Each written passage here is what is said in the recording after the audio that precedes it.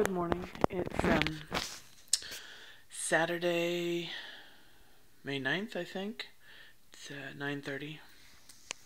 Sorry. Just a real quick uh, check-in. I've been feeling pretty good for the last several days since the last time I I uh, did a video. Um, but uh, yesterday, my two oldest, my two daughters, my two daughters and then my youngest daughter's fiance came over and we had a birthday celebration for we have two birthdays in April. So we had a little celebration and they also combined Mother's Day with it. And um, both girls were scented, although the youngest one sent, sat right next to me. And so she tried not to be too scented and I so appreciate that, but she was and then her fiance he came in the last couple of hours and um, he works in a tire place. I didn't smell i didn't smell anything on him but he did sit across the room from me. Um, i'm already feeling triggered. Um, my eyes are just they're scratchy and um, oh the other thing is that my daughter tried on a wedding gown that was very very scented, and I handled the gown, so it was right up on me. Um, so that's the other trip, the other exposure. But yeah, my eyes are, are messed up. Um, if you can tell, they're they're bloodshot and they're sticky, and it hurts to blink. It's better now. They're kind of lubricated now that I'm awake. Um, excuse me.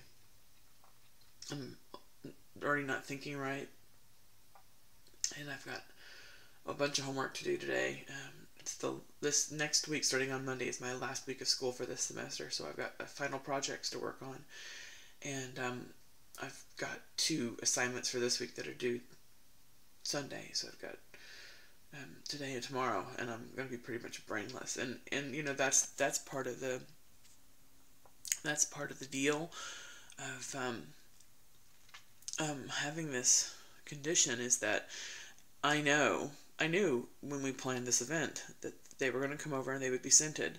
And I knew that I was going to be sick. And for me, the trade off is that I get to see my, my kids and um, my and, and I'm helping my youngest daughter plan her wedding and still have no clue how that's going to work out the day of the wedding with all those people that are going to be scented. But in any case, I I knew they that they would come over and it would make me ill and that's kind of the whole thing is that I just I have to decide. I can stay isolated from everybody. I don't get sick, but I have no life.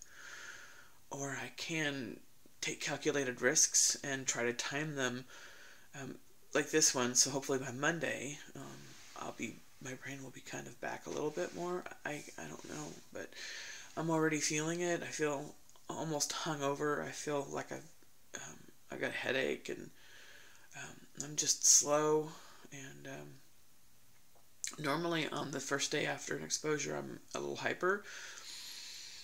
Not this one, so I'm not sure. But they didn't. I was exposed right up until 10 o'clock, 10:30 last night. So maybe later in the day it'll shift. I don't. I don't know, but yeah, I can definitely tell I've been triggered, and um, so I wanted to document it. That's what this is. What it looks like sometimes. Um, I feel stupid. um, I don't think I look the same either, but anyway, I'll try to remember to, to um, yeah, no memory. I'll try to remember to film tomorrow as well. Anyway, God bless.